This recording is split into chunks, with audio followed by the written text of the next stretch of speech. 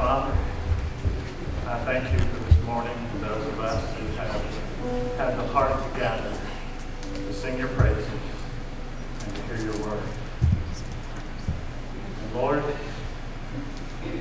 I'm so excited about today. For you've given to me a message that I've never preached before. And Lord, I believe it's going to be a challenging message to deliver. Going to be a challenging message to receive. But I pray for your anointing on the music today, anointing on the message today, but a message on the minds today, the hearts today, and the feet today, so that what we hear will be very glad to take with us to challenge other believers and lost people that they need Jesus. So, Lord, we surrender this time to you. We don't want any distractions. We just want to know your presence, your peace, your mercy, your power.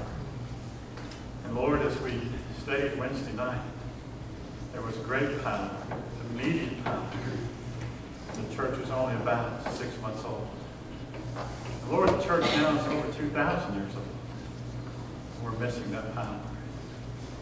Miss that power, but I pray that you begin to bring in this church and every church so the miracles of God can be seen in the time frame of the immediate.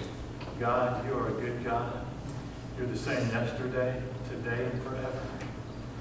And so your power that was available then is a power that's available to now. And so, Father, if there's anything in any of us that would keep your power from coming into this holy arena today, we pray at this moment through the Holy Spirit, you would speak to each one of us. And you would call us to repentance. You would call us to seek forgiveness. And you say if we ask, you'll cleanse us from all iniquity, so we want to be those clean vessels that are full of your righteousness so that your presence can be seen in the most amazing way that can be seen today. So cleanse us and make us ready for these moments of music and message. And again, speak to the heart, speak to the mind, and lead the feet. In Jesus' name we ask it. Amen and amen. amen. Would you all please stand for our doxology?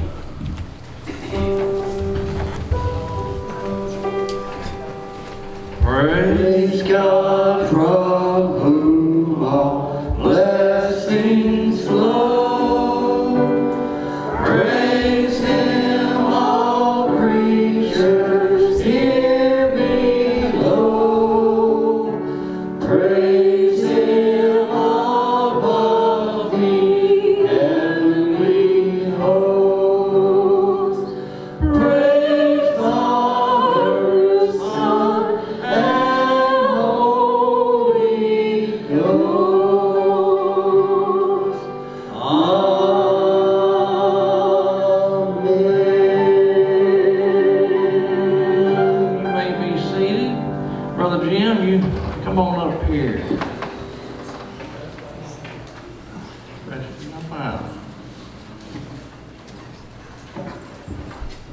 Good morning, Mill Creek Baptist Church. How's everyone doing this morning? We're very pleased, sir. You're looking good, I can say that. Good to have everyone here, especially our guests this morning. Good to have you with us. Uh, pray for us. We're looking again for the power and the presence of the Holy Spirit. We just ask for the presence. With the presence comes the power, right? Amen. Uh, so anyway, we're looking for a good time in the Lord today, for His movement uh, in and amongst us uh, as the body of Christ, assembled in the building we call Mill Creek. But anyway, today we have some special stuff going on. Uh, I've got a lot of announcements here to make. One is the uh, church council meeting right after the service today. Now, this meeting is for uh, chairman of all committees, uh, and this is where we're coming up with a plan of action as we believe we're guided by the Holy Spirit that we come to a consensus on how we want to reach our community around us. Because we've been planted here, so this is, the community around us is what God wants us to reach out to. Because lots of lost people around us, and He wants to reach those people, and He's counting on us.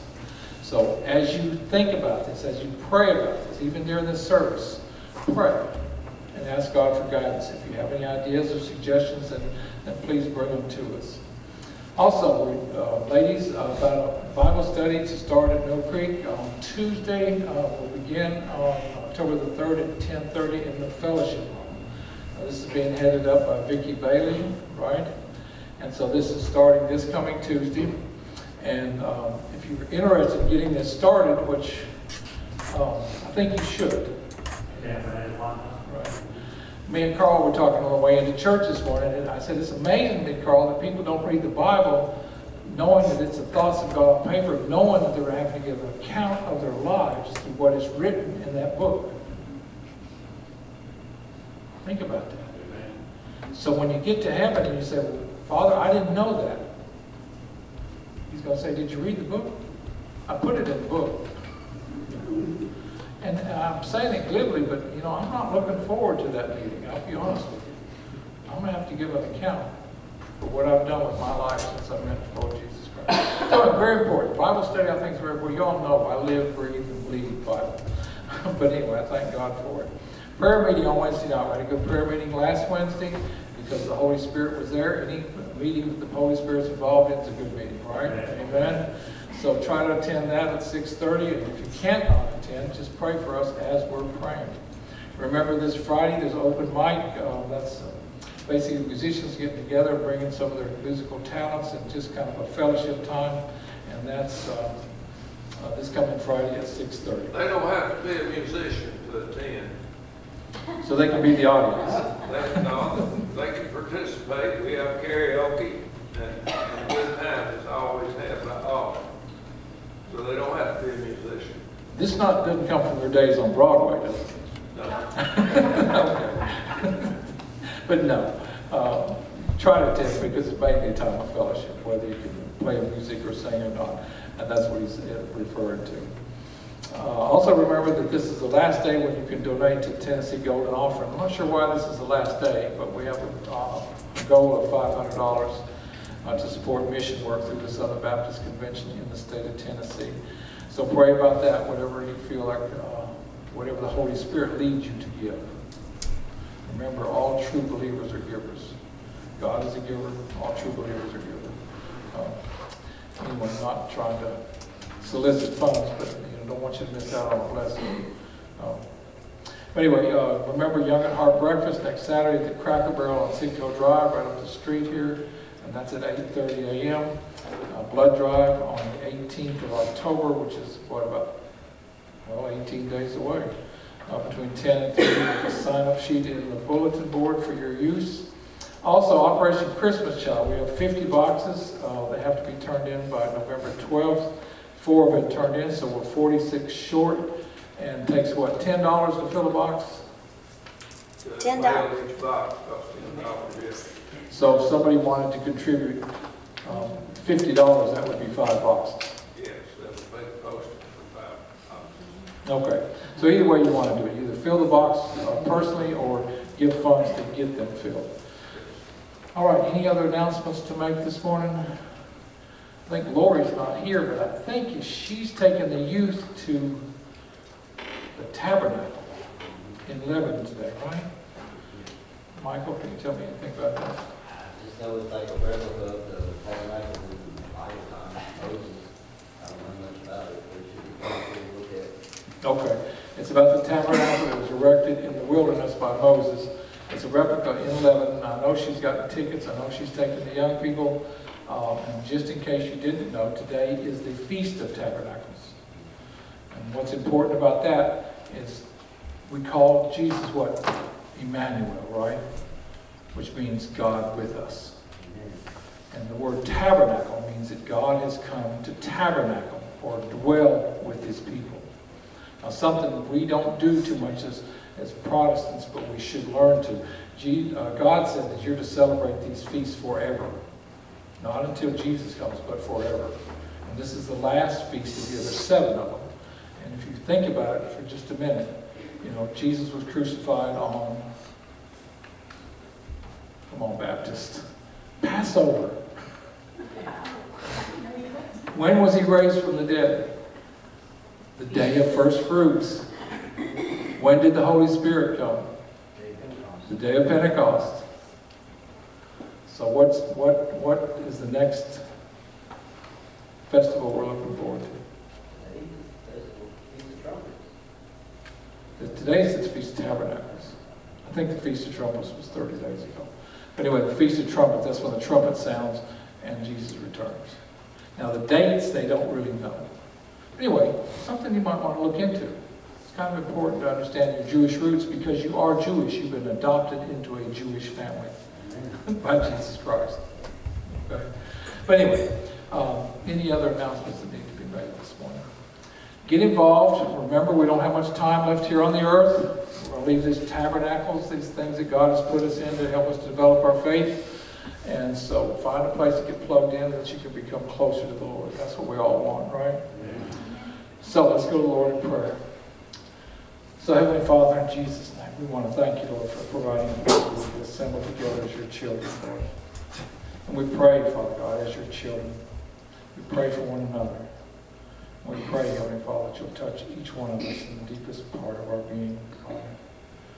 Oh, Father, such a lonely world without you. And so we pray, Heavenly Father, that you'll come and fellowship with us today, individually and corporately, Lord. Touch us, Father, pray. We do want to pray, Father, for one of our own. We want to pray for Gail. We want to pray for Richard. We pray, Heavenly Father, you'll touch Richard in a powerful way with the healing hand of the Lord Jesus Christ that can only come through him and his power. We pray, Heavenly Father, that you'll give Gail peace, Lord. We pray for the accompaniment of your angels, Lord, in that room. We want to pray for the staff there at that hospital. We ask you, Heavenly Father, impart them wisdom and skill above and beyond their human capabilities. We thank you, Heavenly Father, for what you're going to do in advance. We thank you, Heavenly Father, for all the miracles that you have attested to this week, Father, in our lives. Father. We pray, Heavenly Father, for divine appointments. And we pray, Heavenly Father, as we have already asked earlier, that you will guide us in our church council and guide us, Heavenly Father, into the place that you want us to be, Lord God. We want to accompany you in your work, Heavenly Father. We don't want you following us. We want to follow you. So give us enlightenment, Heavenly Father, to what that looks like. We pray, Heavenly Father, for this service today. And again, we pray for one another, that tongues of fire would descend on each one of us, Lord, as we're filled with your Holy Spirit. Either filled, Heavenly Father, by the power of your word that you give Brother Keith, or that we touched, Heavenly Father, by the language of heaven that you've given these musicians the ability to do. So we ask you, Heavenly Father, to touch us in a very powerful and mighty way. And Father God, I know that the Lord Jesus said very short prayers, but he left us one prayer. And he requested that we pray it corporately. We ask you, Heavenly Father, to empower. I pray, Heavenly Father, that you would open the hearts of each individual that recites it. They would understand that they have come into contact with the Almighty God, the Creator of the universe. Our Father, which art in heaven, hallowed be thy name. Thy kingdom come, thy will be done, on earth as it is in heaven. Give us this day forgive us our trespasses, as we forgive those who trespass against us. And lead us not into temptation, but deliver us from evil. For thine is the kingdom, and the power, and the glory forever. Amen. All right, stand up and greet one another. Tell them you're glad to see